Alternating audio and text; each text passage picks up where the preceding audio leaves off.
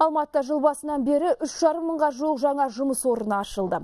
Жыл соңына дейін бұл көрсеткішті 20 мыңнан асыру жоспарлануда. Еңбекпен қамту елдің ең ірі қаласы үшін өсе мәселе. Жұмыс берушілер мен жұмыс іздеушілерді бір арнада тоғыстыру үшін мегаполисте кешенді бағдарлама қолға алынған. Тілшіміз Ұлан Нарынбек жалғастырады. Алматы қаласы жұмыспен қамту және әлеуметтік бағдарламалар басқармасы арқылы жұмыс тапқандардың бірі Айнұр Қасенова. Бұған дейін әртүрлі кәсіппен айналысқан ол қазір троллейбус жүргізеді. буфетте жұмыс істедім. Онда үш жылда істедім. Сосын кейін арасында таксовать етіп жүрдім. Өзім жеңіл машинамен осы мамандықта троллейбусты өзім қаладым. Осы троллейбусты жүргізгім келді. Болашақ жүргізушілер алматы жолаушы көлігі және технология колледжінде білім алады. Үш айлық оқу тегін. Оған қоса стипендия төленіп жатақханадан орында беріледі. Бүгінде тұрғын үй коммуналдық шаруашылығының мамандарына темір ұстасы мен дәнекерлеушілерге және IT технологиясындағы білікті қызметкерлерге сұраныс көп. 2014 жылы алматы қаласы бойынша 23 мыңнан астам жаңа жұмыс орны ашылған. Биылғы біздің қойылып жатқан жоспарымыз кемінде 20 мың жаңа жұмыс орнын ашу.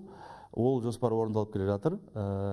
Бүгінгі күнге осы мартты алсақ үш жарым мыңға жуық жаңа жұмыс орны ашылды. Жұмыспен қамту басқармасының күн сайын екі жарым мың бос жұмыс орны жарияланатын интернет порталдың көмегіне де жүгінуге болады. Бірақ басқарма ерекше көңіл бөлетін адамдардың үш тобы бар. Олар мүгедектер елуден асқан азаматтар мен жастар. Статистикаға жүгінсек мемлекет көмегіне жүгінгендердің алпыс бес пайызы тұрақты еңбекпен қамтылған. Білесіздер өз күшімен елуден астан асқан адам жұмыс табу өте қиын.